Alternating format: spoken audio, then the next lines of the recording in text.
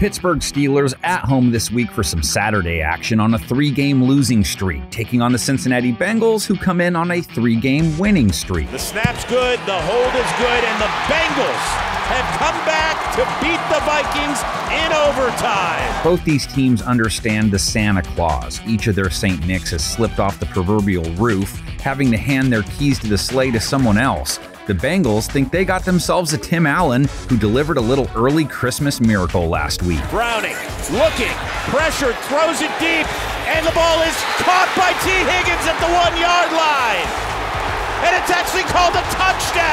Tee Higgins deserves the credit on that one. Wow, nothing but respect. Anyway, I don't know if Jake Browning thinks Denny's is an American institution, but I do know the Steelers are facing a more refined version of him compared to when they first met him a few weeks ago.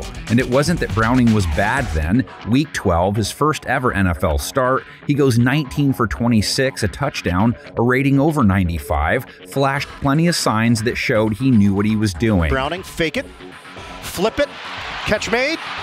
Sample bangs into his own man for the touchdown. Cincinnati did not win that game, though. It was their last loss, Pittsburgh's last win. Steelers took a defensive battle 16 to 10. Looking left, throws that pass, intercepted at the 15 yard line. Pittsburgh didn't put up many points, but Kenny Pickett put up 278 yards on Cincinnati, a season high, one of his better 2023 outings, and there's a chance he returns this week. Pickett back, throws it down the near sideline. That's Pickens. He pulls it in. Even with Pickett putting up that big game, only 16 points though, Pittsburgh hasn't been able to score 19 points in five straight games now, the last two with Mitch Trubisky at QB, who had Steelers fans feeling like Billy Bob Thornton found their Santa suit two interceptions last week, only one touchdown, a sub 70 rating, only 169 yards. Flings the ball, you see it, the feet aren't set, tries to flip it out there, goes high, easy interception for the Colts. If Pickett can't go, I mean, it's a no brainer, right? A couple days before Christmas, just get Rudolph to guide the sleigh.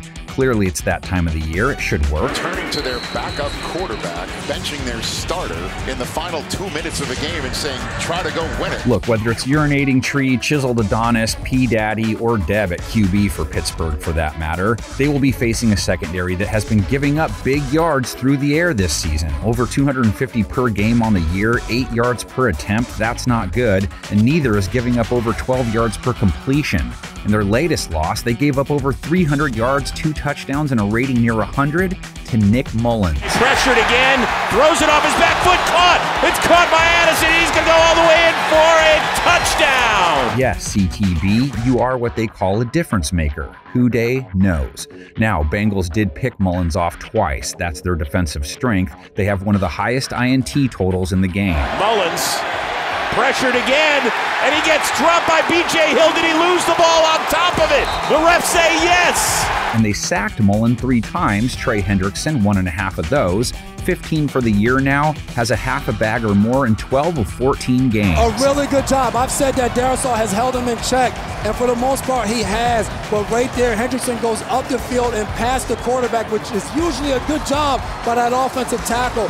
Mullens looking to find space. Hendrickson comes away with the sack. Pittsburgh's run game has been non existent the last two games, but Najee Harris and Jaylen Warren will not only be looking at a run defense they both fared well against when they squared off in Week 12 it's one that gave up 132 yards to Tyson Chandler on 5.7 yards per carry last week. Hand off to Chandler, spins, and he is in. Pittsburgh's own run defense doesn't come in feeling very cheery either. They gave up 170 rush yards to the Colts, 5 yards per carry, and they were facing Indianapolis's second, third, and eventually fourth running back option. Nice to be able to have your third back come in, and make some big plays for you. Zack Moss has been great. Goes into the tunnel after that touchdown. Trey Sermon, nice job there, hitting it off tackle. So cue Joe Mixon, right? 4.7 per carry last week. He scored. Takes the hit from Cincinnati, Ivan Pace, and barrels in. Joe Mixon stays up off the ground, reaches the ball across that goal line, running through him, angry as he gets into the end zone. Only 10 carries, though. Mixon isn't the one Pittsburgh's defense should be worried about. Bengals are still chucking it more than toking it. Browning leading Cincinnati back to victory last week on the back of a 324 yard outing. Browning flush, throws it downfield. The ball's caught by Boyd. Keeps his footing inside the 30, cuts inside the 20. Have to keep tabs on Ja'Marr Chase's status. He left last week hurt. His absence could be pretty big. As Chase wide open, and he makes the one-handed grab inside the 25. But still, Browning has completed over 70% of his throws since stepping in. In the last two games, he's played the Santa role to a T, making sure all his pass catchers get something. Tried to drop a ball on 12 different guys last week. Looks,